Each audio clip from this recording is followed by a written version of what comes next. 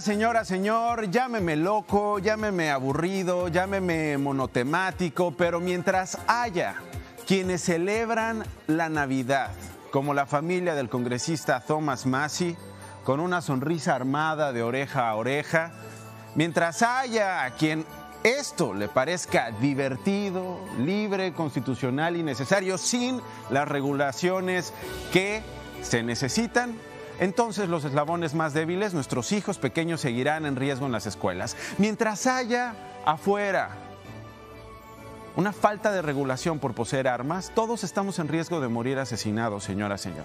Mientras cualquiera pueda comprar un arma en las ofertas y descuidarla para que caiga en manos asesinas, entonces estaremos en riesgo.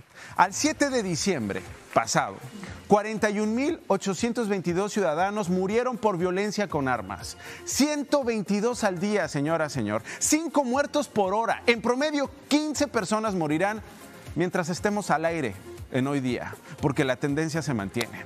El lunes, el lunes pasado, un niño fue asesinado. Ese mismo día, otra alumna herida por un tiroteo en Los Ángeles, California, cerca de una escuela vivió esta violencia con armas. Aquí se lo contamos ayer.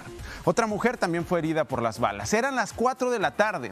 Mientras usted está trabajando, confiando en que sus hijos están a salvo en casa, en la escuela o en las actividades extracurriculares, hay un miedo constante de recibir esa llamada que nadie quiere recibir. ¿Cuántas vidas son demasiadas? ¿Cuántas vidas perdidas son suficientes como para detener la violencia por armas en Estados Unidos? Como para pensar en que algo estamos haciendo mal con esos 289 niños que han muerto con menos de 12 años de edad en este país, en el que los legisladores le piden a Santa que traiga más municiones. Casi un niño diario asesinado por la violencia con armas durante este año. Tres adolescentes muertos al día. Ese es el ritmo mortal en este país. Qué bueno que haya familias que puedan tomarse fotos con sus integrantes completos, con sus integrantes sonrientes, en una postal navideña. Lo hacen armados. Pero en el otro lado de la moneda están las miles de familias que desde hace años no han podido tomarse una foto con sus hijos que han muerto en tiroteos. Hoy, del otro lado de esa moneda, hay familias rotas, incompletas, que siguen llorando, que no sonríen, que no le piden a Santa más municiones, sino que le piden un milagro, que le traigan a sus hijos de vuelta. Dos caras de una misma postal. Pero esto es normal para mucha gente que hace apología de las balas y las armas y cree que no hay que llamar la atención por la violencia que pueden generar. Interesante.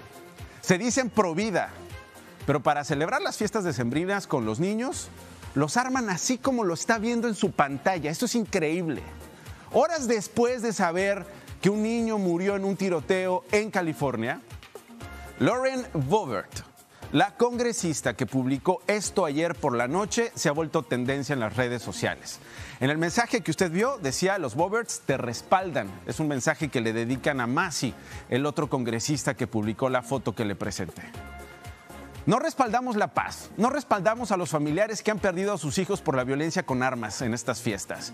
Respaldamos lo otro, no respaldamos a las madres o a los padres que hoy siguen llorando por no festejar la Navidad con sus hijos.